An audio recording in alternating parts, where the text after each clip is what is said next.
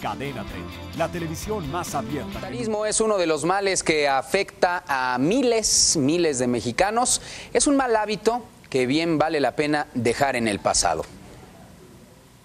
En esta época de propósitos de Año Nuevo, bien vale incluir en nuestra lista dejar de ser sedentarios.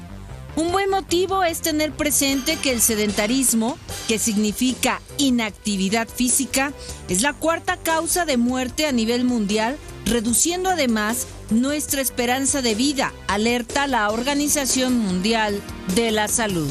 Los mexicanos somos altamente sedentarios.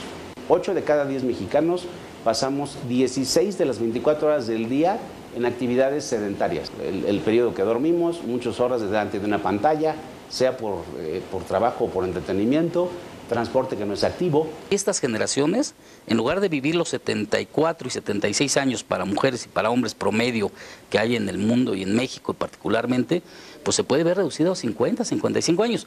¿Por qué? Porque estamos teniendo hígados grasos a los 6 años. Estamos teniendo mayor cantidad de diabetes mellitus tipo 2 que antes eran del adulto, se llamaba diabetes del adulto.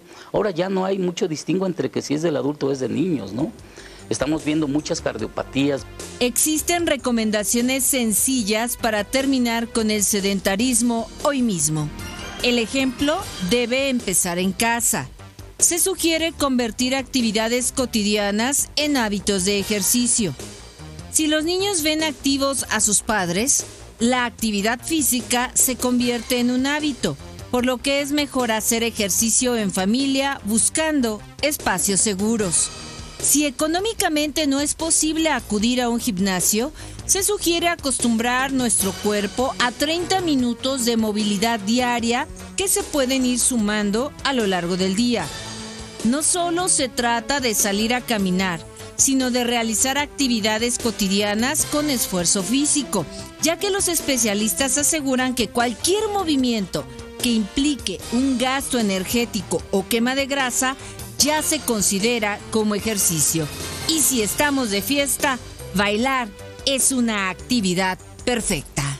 No es solamente eh, hacer los 30 minutos y tampoco es hacerlos en forma este, continua, ¿no? porque la gente dice, no, pues es que 30 minutos no los voy a aguantar cuando apenas, apenas empiezan.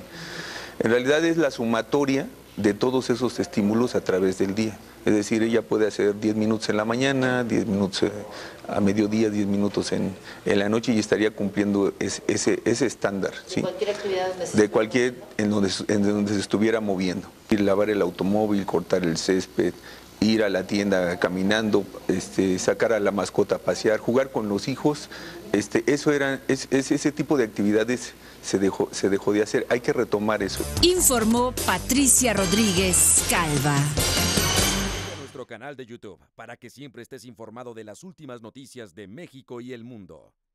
Empieza ahora mismo dándole clic a estos videos.